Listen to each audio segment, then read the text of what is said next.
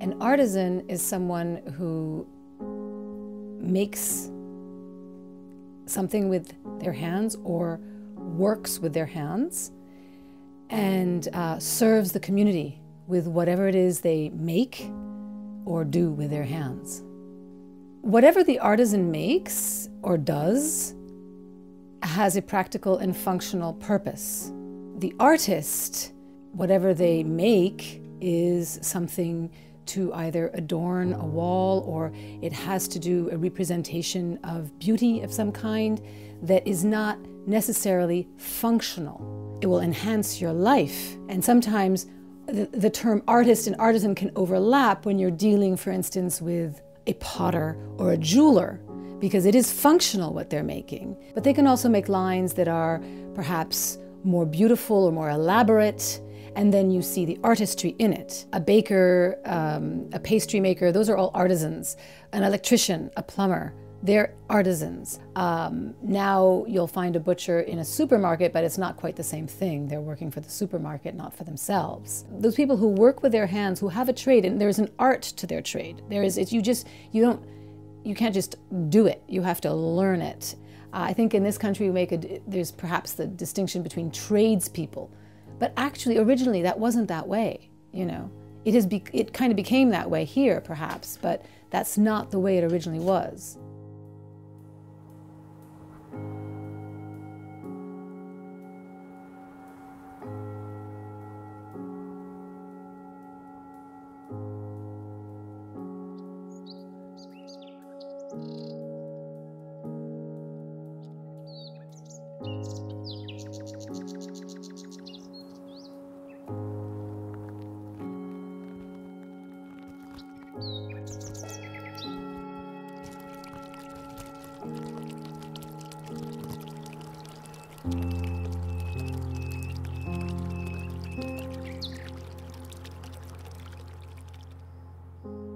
My name is Kiki Rosner.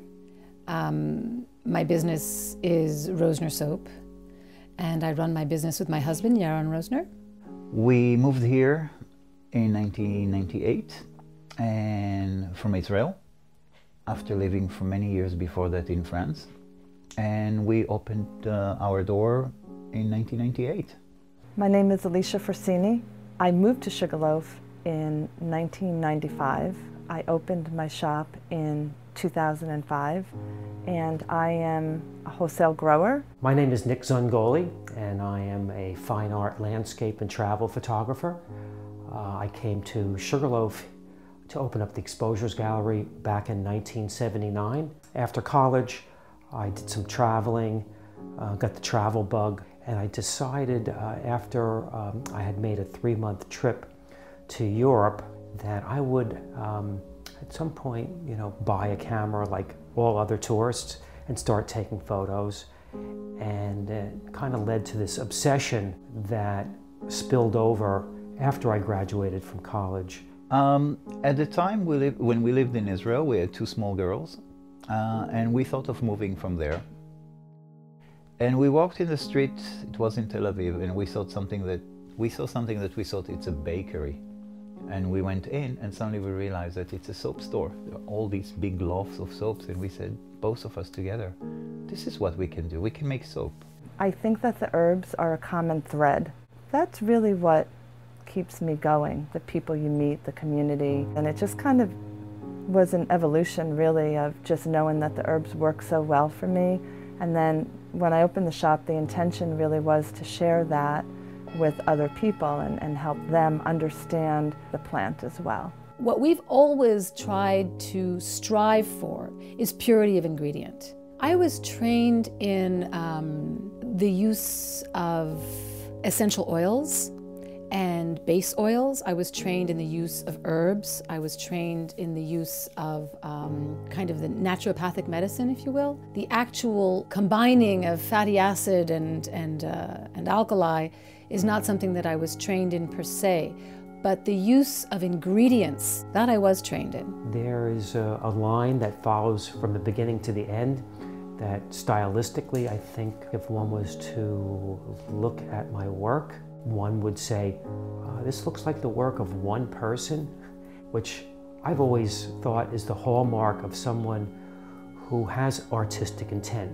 who has a specific vision. All art is really a, is a very high form of communication. I really wanted to reach out to the local community in regards to um, medicine and supplements and it's something that I felt uh, the community would really welcome and, and they have. Well, Sugarloaf is a place that a lot of people come because of the traditions of uh, a place that you is very unique. This place exists for uh, nearly 250 years as a craft place. I work, you know, the flowers are my palette, basically. When I make my spice blends and I'm grinding them and all the colors, making my curries, I consider that art. I live in this community which is quite diverse um, in the type of work that's being done. Um, it is an art hamlet, um, but a lot of the art that's being done here is actually done in, uh, in a fine craft sort of way. So, uh, for instance, there are people who can sit down on a potter's wheel and just kind of pull up a form and then they have a cup. And then there are those people who have that rare gift of being able to control the clay in such a way that they can make these amazing forms into a, a, work of art. There, there is a mix in this community. They're not just artisans. There are people that just have stores here. They don't have the same, the same attitude necessarily because for them it's about business. In, you know, in a, in a community such as this one, you have a lot of independently minded people because who does this today? It's not like you're making big bucks, right? For the artisans, it's about business too, but not just about business. There's also that really important aspect of I make this. It's a dance. That's all I can say. It's always changing, always transitioning. Um, I've seen people come and people leave and we just I think follow our heart in a way. When we first moved here there was huge foot traffic in in Sugarloaf. But that those people were really hurt in the last 15 years. My customer is the middle class. And when I first moved here in 1998, it was the lower middle class too. And the first people I saw not come back were them. And then the middle class started waning. We have we've seen a middle class that has been very hard hit. We've seen a middle class that can no longer purchase the way they used to. The changes we made is to reach out further outside of this community. So, you know, um, internet sales and private labels. We wanted to make a, a kind of a luxury product that was accessible to everyone. You know, the problem with the artisan is that they're not necessarily good with people.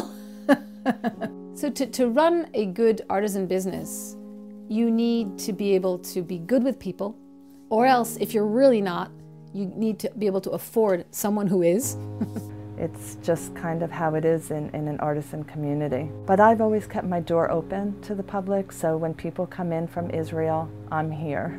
uh, when people travel from afar and they kind of want to get a sense of Sugarloaf, I think a key to um, an artisan business is very much being part of your business. Uh, we both have few other passions, and I think that this is really important to keep a business when you're not just involved in the business all the time and think, but you have to go outside from it and um, come back to it all the time with more energy. What I'd like to actually touch on is the idea of what successful might be. For some, that would mean bucketfuls of money. um, other people, that would be um, accolades from the public.